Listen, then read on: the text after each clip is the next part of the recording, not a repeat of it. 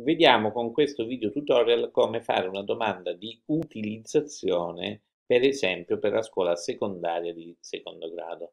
Andando su selezionare un ordine di scuola, si clicca su seleziona, si sceglie scuola secondaria di secondo grado e poi comparirà per esempio l'utilizzazione provinciale. Teniamo conto che l'utilizzazione può essere richiesta per i docenti che sono stati, ad esempio, eh, trasferiti d'ufficio o a, a domanda volontaria condizionata perché sovrannumerari. Facciamo proprio questo tipo di esempio. Andiamo su inserisci e ci troviamo nel prospetto della domanda.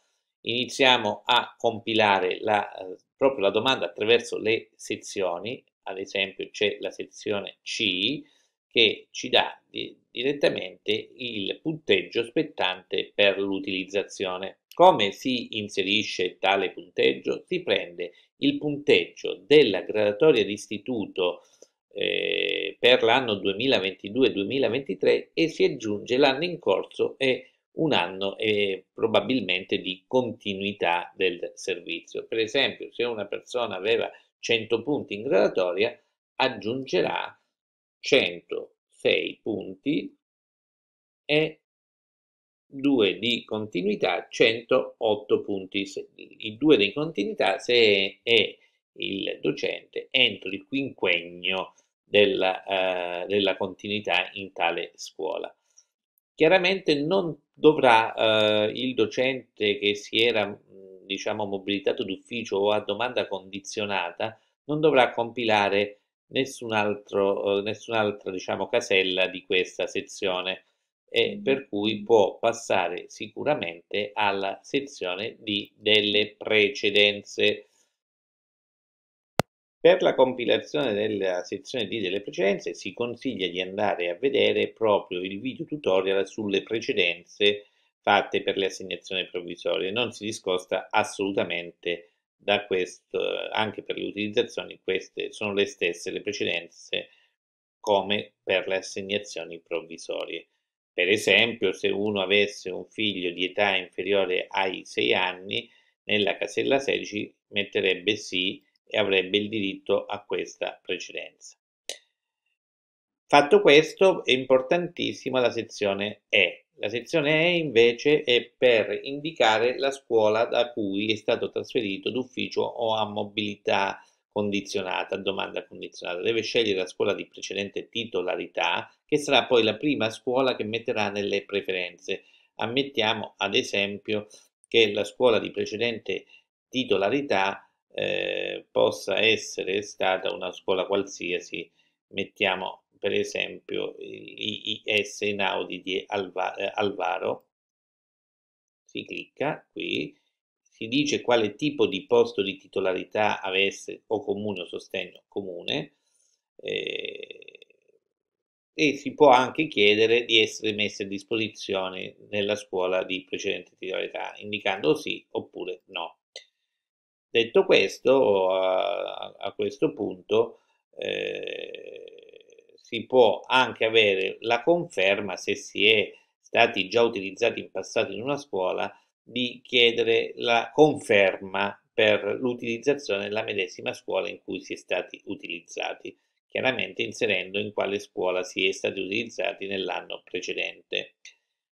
Infine è molto importante indicare, perché altrimenti il, eh, il sistema non darà, non consentirà di proseguire la sezione H dove si indica la tipologia di posto per cui si chiede l'utilizzazione, per esempio il posto normale. Facendo appunto salva, noi andiamo a salvare con successo la domanda. Speriamo che questo video tutorial sia utile ai nostri lettori. Seguiteci ancora nei nostri canali social e nel sito www.tecnicalascuola.it perché tratteremo temi come questo e anche tanti altri altre tematiche. Arrivederci e a presto. Vediamo come eh, scaricare dal sito del Ministero il modulo per le assegnazioni provvisorie di utilizzazione del personale ATA per l'anno scolastico 2022-2023 e eh, vediamo anche come compilare per l'assegnazione provvisoria degli ATA.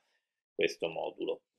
Appunto andiamo sul sito del Ministero dell'Istruzione, sul campo di ricerca basta inserire eh, utilizzazione e assegnazioni provvisoriata, fare clic e si eh, va proprio in un link che dà accesso a questa pagina.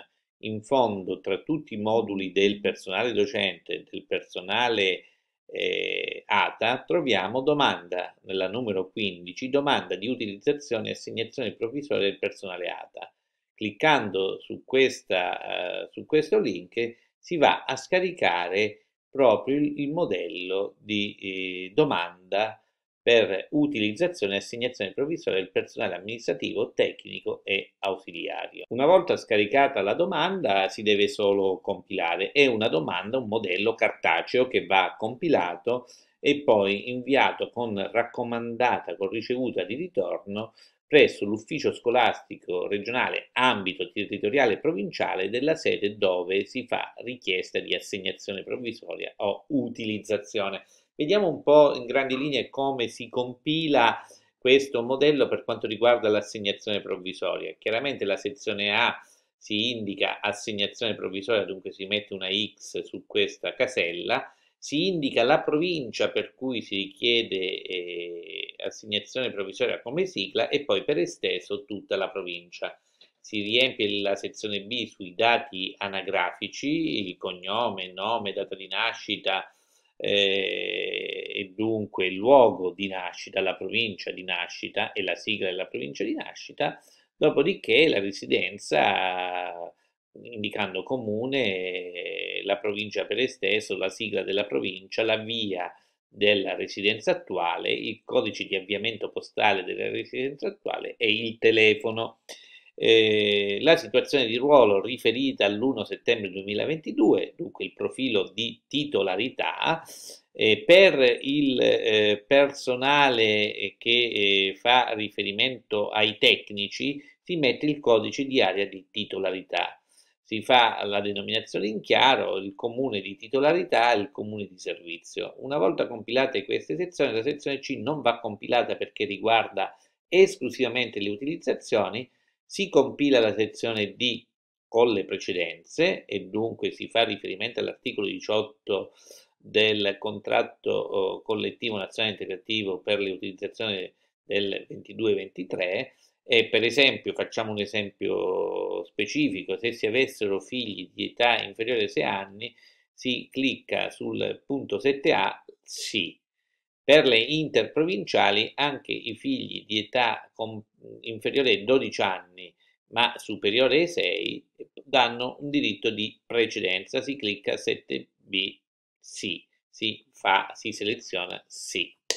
Detto questo, non la sezione E non va compilata, invece importantissima è la sezione F dove si inserisce il ricongiungimento al coniuge, al convivente o al familiare nel comune D e si inserisce il comune, poi si inseriscono il numero di figli di età inferiore ai 6 anni, valgono diciamo un punteggio superiore rispetto al numero dei figli di età eh, superiore ai 6 anni ma non superiore ai 18 dove si indicano quanti figli si hanno nella casella 16.